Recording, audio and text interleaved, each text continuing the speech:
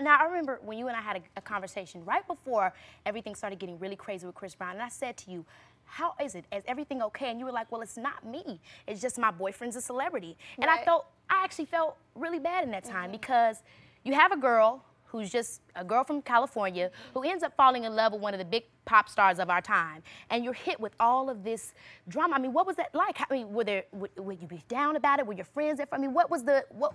How did it, how did you find a way to really move forward through all of this and keep going?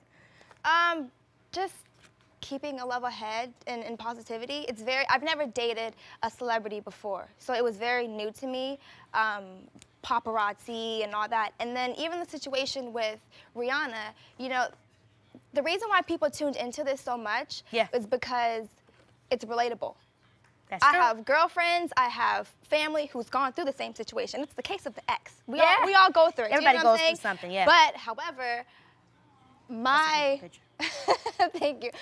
In this case, my boyfriend is a celebrity whose ex-girlfriend is, is an even bigger. You know what I'm saying? Yeah. So not only am I fighting a battle with her, I'm fighting a battle with her 14 million fans or however else. So imagine how that feels for me when I got to get on Twitter and I got to see a whole bunch and people are trying to make you constantly prove yourself. I and, see that a lot. Sometimes I go by the, this.